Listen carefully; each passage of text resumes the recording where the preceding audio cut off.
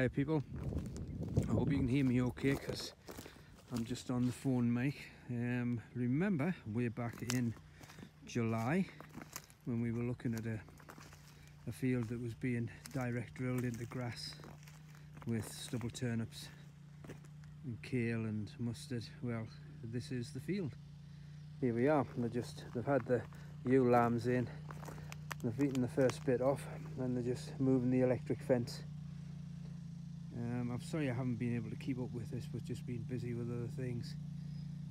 So yeah, they're just moving the electric fence a little bit, but as you can see, it looks pretty good. There's John coming along with the, the quad, but you can see the height of it. Um, so yeah, direct drone, it's fine.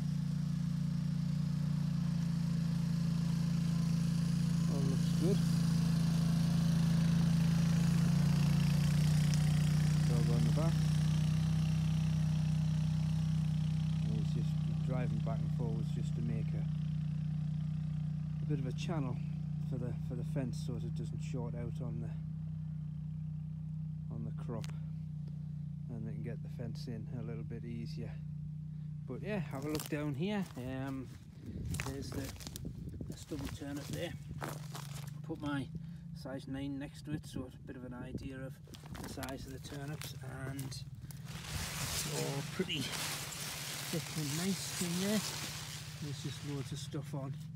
So yeah could be quite happy with this and uh, they're nibbling away at them. They'll keep at them. And nibbling away at the turnips there so this should be doing quite well. No that's a good crop. I forget who it was that asked thought that well maybe she can't direct drill and they'll not come to anything. Well I think they have.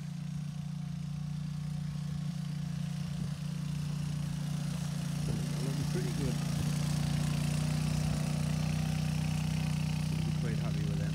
So there you go. A, a brief update just to let you know that yeah direct drone in the grass. Yeah it worked